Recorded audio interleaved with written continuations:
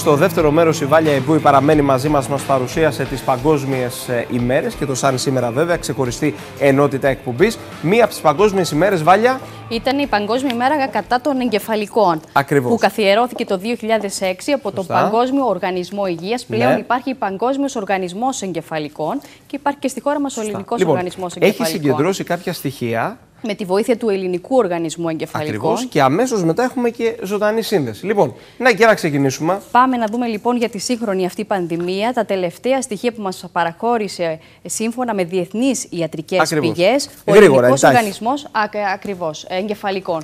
Λοιπόν, είναι τα τελευταία στοιχεία που αφορούν το 2019 στη συσχέτιση με το 1990. 12 εκατομμύρια 200.000 είναι οι περιπτώσεις των εγκεφαλικών, μία αύξηση της τάξης του 70% σε σχέση πάντα με το 1990. 101 εκατομμύρια συνάνθρωποι μας πάσχουν από εγκεφαλικό παγκοσμίως, 6,5 εκατομμύρια οι θάνατοι από εγκεφαλικό. Είναι η δεύτερη αιτία θανάτου παγκοσμίως, η τρίτη αιτία συνδυασμού θανάτων και αναπηρίας και ε, σε άτομα 70% το ποσοστό έχει αυξηθεί από 20% έως και 22%. Μπορούμε να περάσουμε και στην επόμενη ναι. κάρτα εντάχει. Οι πρώτοι πέντε παράγοντες λοιπόν που ευθύνονται για το συνδυασμό θανάτων και αναπηρίας από εγκεφαλικό παγκοσμίως είναι η υπέρταση, η παχυσαρκία, ο διαβήτης, η ατμοσφαιρική ρήπανση και το κάπνισμα. Μπορούμε να περάσουμε στην επόμενη κάρτα, ε, αρκετά ενδιαφέρουσα γιατί αφορά τις ηλικίες. Ένα σημαντικός παράγοντας νόσης από εγκεφαλικό. Βλέπουμε λοιπόν ότι όσο ανεβαίνουμε τις ηλικίες, τόσο αυξάνονται και τα ποσοστά πρόκλησης λοιπόν του εγκεφαλικού επεισοδίου, κυρίως από 55, 65, 75 plus. Είναι οι ηλικίες λοιπόν που υπάρχουν πολύ μεγάλα ποσοστά νόσησης από εγκεφαλικό. Προχωράμε στην επόμενη κάρτα μας. Το εγκεφαλικό έρχεται στη δεύτερη θέση αναφορικά με τις αιτίες θανάτων στην Ελλάδα.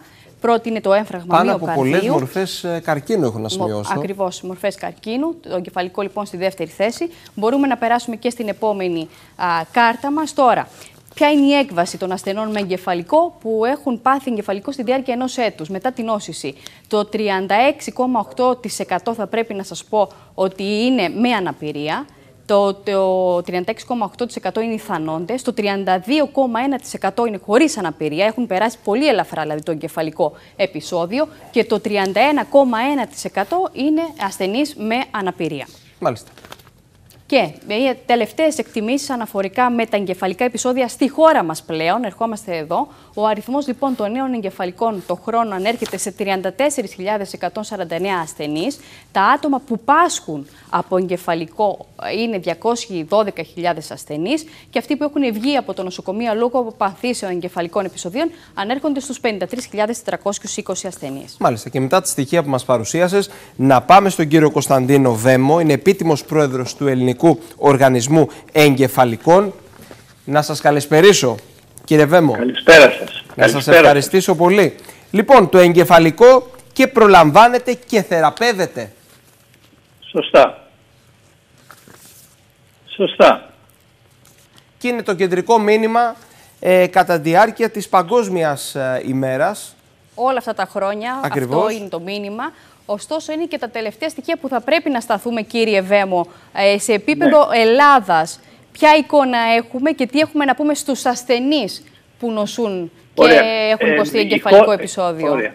Η χώρα μας δεν έχει, αν θα με ρωτήσετε συγκριτικά με τις άλλες χώρες στον πλανήτη, δεν έχει ούτε τα περισσότερα, αλλά ούτε και τα λιγότερα. Είμαστε κάπου στη μέση, θα έλεγα ε, για τη χώρα μας είναι ένα πρόβλημα γιατί δεν έχει οργανωθεί η οξία αντιμετώπιση. Το εγκεφαλικό είναι μια οξία κατάσταση. Δεν είναι μια χρόνια. Δηλαδή, ο ασθενής παθαίνει εγκεφαλικό ξαφνικά. Άρα, τις επόμενες ώρες, όσο το δυνατόν γρηγορότερα, πρέπει να γίνει κάποια θεραπεία.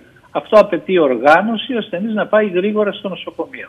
Άρα, λοιπόν, πρώτα πρέπει να ενημερώσουμε τον κόσμο από τη στιγμή που κάποιος, είτε από την οικογένεια, είτε ο ίδιος ασθενής, ε, διαπιστώσει συμπτώματα εγκεφαλικού, θα πρέπει να πάει στο νοσοκομείο. Να μην περιμένει τον γιατρό Δηλαδή δεν έχει καμία έννοια τα οποία, να τηλεφωνήσει στον γιατρό. Τα οποία συμπτώματα είναι πια. Τα οποία συμπτώματα, τα τρία-τέσσερα τα πιο συχνά, είναι ε, ε, παράλυση ή μούδιασμα από τη μια μεριά του σώματος. Χέρι, πόδι και πρόσωπο.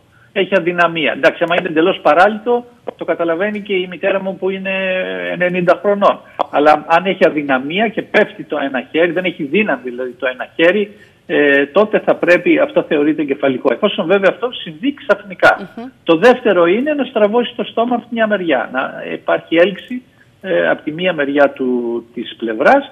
Το τρίτο είναι να μπερδεύει τα λόγια του ή να μην μιλάει καθόλου. Αυτά είναι τα τρία πιο σημαντικά σημεία που τα βρίσκουμε περίπου στο 80% των εγκεφαλικών. Άρα λοιπόν αν κάποιος τα, τα νιώσει όποια ώρα να είναι, συμβαίνουν οποιαδήποτε ώρα και νύχτα και πρωί και μεσημέρι και Κυριακή δεν έχουν ώρα. Θα πρέπει να πάει στο νοσοκομείο. Υπάρχουν δεν κάποιοι παράγοντες ναι. που επηρεάζουν, κάποιοι παράγοντες που επηρεάζουν τον, τον ασθενή, επηρεάζουν τον συνάνθρωπό μας ο οποίος θα πάθει ένα εγκεφαλικό, θα αντιμετωπίσει αυτή τη δύσκολη κατάσταση. Οι, πα, οι παράγοντες που δημιουργούν τα εγκεφαλικά, ναι. ανέφερε ήδη στην κάρτα μερικούς. Η κλασική είναι η υπέρταση, εγώ είμαι υπερτασικός. Δεύτερον είναι καπνίζω. Τρίτον έχω διαβήτη. Και τέταρτον έχω ο, αυξημένη χολυστερόλη. Αυτοί είναι οι τέσσερι κύριοι παράγοντες.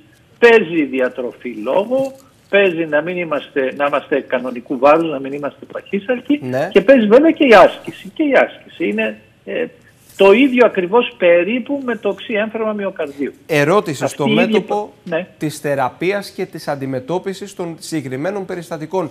Έχει σημειωθεί κάποια πρόοδος, εξέλιξη, ιατρική πρόοδος τις τελευταίες δεκαετίες, τα τελευταία χρόνια. Έχει συμπληρωθεί όσον αφορά το ισχυμικό εγκεφαλικό, που ναι. σημαίνει ότι κάποιο αγγείο του εγκεφάλου έχει αποφραχθεί από θρόμβο.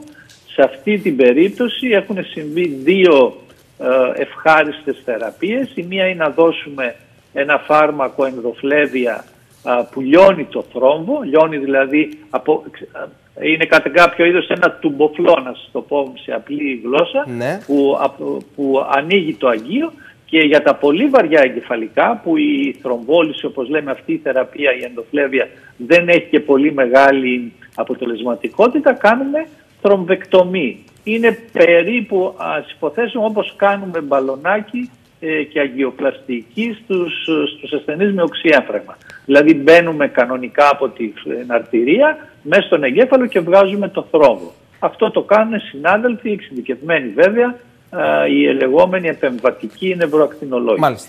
Και Αυτή είναι η τελευταία θεραπεία γιατί αυτό έχει πολύ σημασία να σου το πω γιατί αφορά τα βαριά εγκεφαλικά. Αφορά δηλαδή αυτούς τους ασθενείς που μένουν κατάκητοι ή πεθαίνουν. Η μορφή εγκεφαλικού παίζει ρόλο ανάλογα και με την ηλικία, κύριε Βέμο. Ένας άνθρωπος, ας πούμε, 45 χρονών ή ένας άνθρωπος 75 χρονών έχει περισσότερες πιθανότητες να υποστεί ένα βαρύ εγκεφαλικό. Ή ένα ελαφρύ οι μεγαλύτεροι, οι, οι μεγαλύτερης ηλικίας ε, ασθενείς μας έχουν και βαρύτερα εγκεφαλικά. Αυτό η ηλικία παίζει καθοριστικό ρόλο όσον αφορά τη βαρύτητα. Αυτό δεν σημαίνει βέβαια ότι και στους τριαντάριδες και στους πεντάριδε δεν έχουμε βαριά εγκεφαλικά. Όταν εκδηλωθούν, δυστυχώς έχουμε και αφήνουν ε, νέους ανθρώπους ανάπηρους για όλη τους τη ζωή. Μάλιστα. Να σας ευχαριστήσουμε θερμά. Παρακαλώ. Να είστε σας καλά. Σας ευχαριστούμε πολύ, Βάνια. Να σας ευχαριστήσουμε για την παρουσίαση.